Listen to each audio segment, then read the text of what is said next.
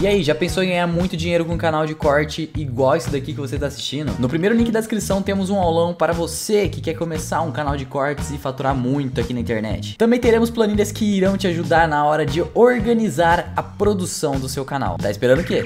Mas o meta lá, aquele, é aquele negócio, né, cara? É o spin-off do mal, né?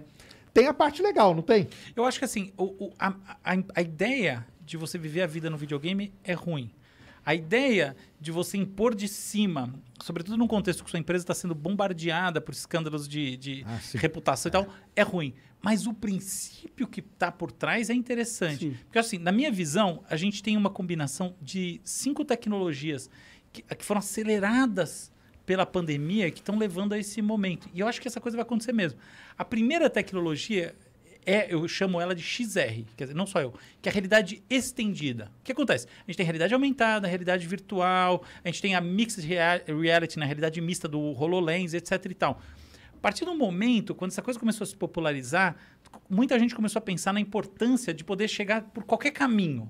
E isso, realidade estendida é um conceito para dizer assim, qualquer uma delas. Mas também é um conceito para dizer, porra, e se de repente eu puder acessar alguma coisa de todas as maneiras diferentes? Isso é um negócio que tá, isso ser chamada interoperabilidade. Essa interoperabilidade começou a rolar forte. Esse é um ponto.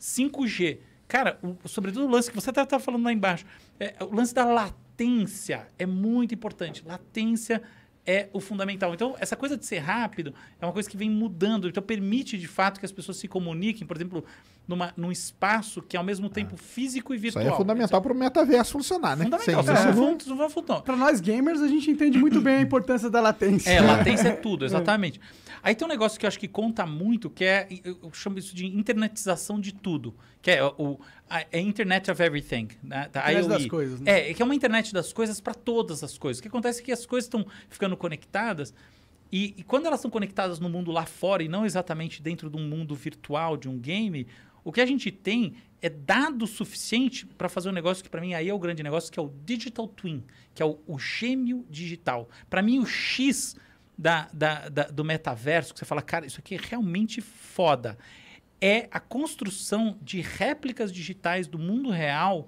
nas, na, que, não, que não, não representam só cenários, não é que nem um cenário estático de jogo, é uma réplica no sentido da vida que acontece dentro dessas, desses ambientes. Por exemplo, Ericsson, tá, a Ericsson está construindo é, uma, uma cidade inteira tá, em, em, digital twin, assim, uma, uma réplica inteira. Por sinal, tem várias, Seul, Las Vegas, tem vários digital twins sendo construídos.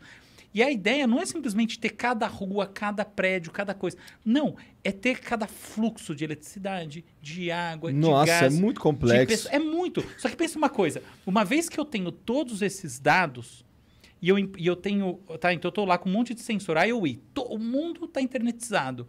Eu crio uma réplica digital. Eu implemento nessa réplica digital esses dados todos que fazem essa réplica digital funcionar como o mundo real. O que, que eu faço na sequência? Na minha visão, crio simulações. Porque daí eu posso falar, se eu mexer nessa variável, nessa outra variável, o que, que vai acontecer? E aí eu vejo, em termos reais, a simulação. Então, para mim, o verdadeiro sentido do metaverso é criar simulações. E eu acho Já que a principal coisa que, que eu... vai acontecer, mano. E, a gente vai enxergar. Tá e aí você aqui. descobre que a sua simulação é melhor que você. E aí, cara?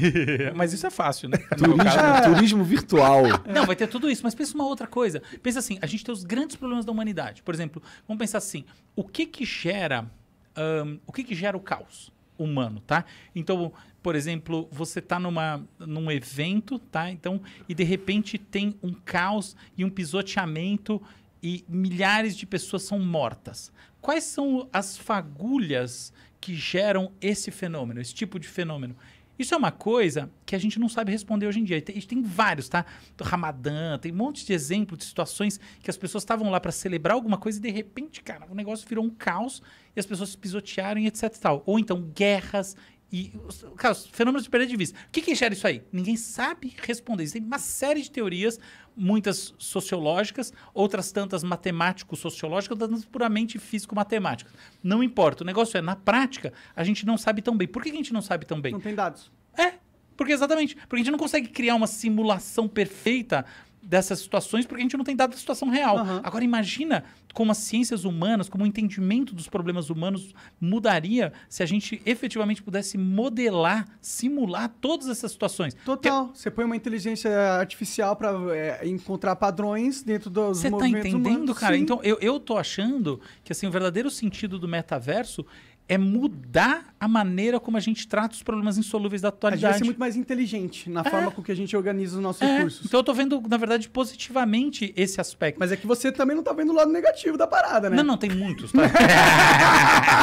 é, porque eu quase não uso rede social mesmo, comecei faz dois meses. exatamente. Comecei com Imagina, imagina você ser cancelado no metaverso, cara. Que doideira. Imagina.